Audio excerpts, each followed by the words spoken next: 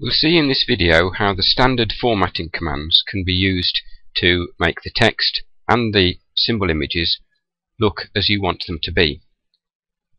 Type a short sentence.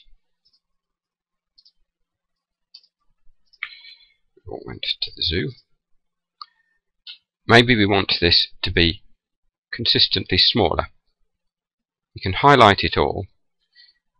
There are two icons here which are actually quite convenient because they can change the graphic and the text size together in a reasonable way. So if we click to increase the size, both the graphics and the font become larger in a reasonable ratio.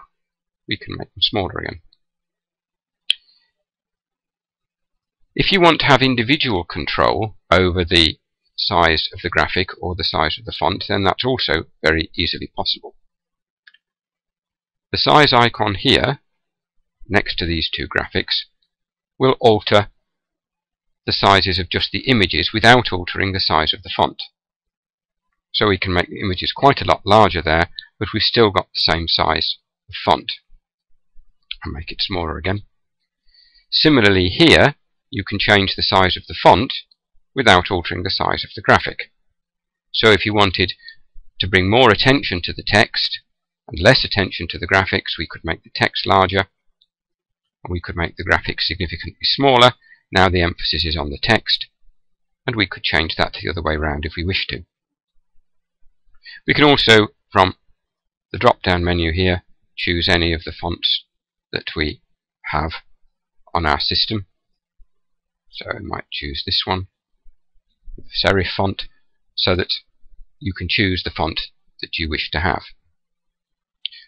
Also, any paragraph can be aligned either left, as normal, right, or centrally. So you can align left, right, or center. And that can work on the current paragraph, or if you've got several paragraphs and you highlight over those, it will operate on the highlighted paragraphs. I'll move it back to the left again. There are also tabbing facilities so that you can make symbols and text appear in columns. You can use this icon here, which says set the number of tabs across the page, or you can go to text, and you can go to paragraph, and you can set the tabs across the page there. There's two ways of doing it. I'll use this here and I'm going to choose to set the number of tabs across the page as 3 so I can just make that 3 it'll apply to the paragraph that I'm writing. So if I now type cat and then a tab dog lion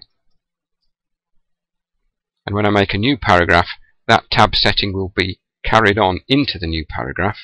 So if I type fish pig, horse.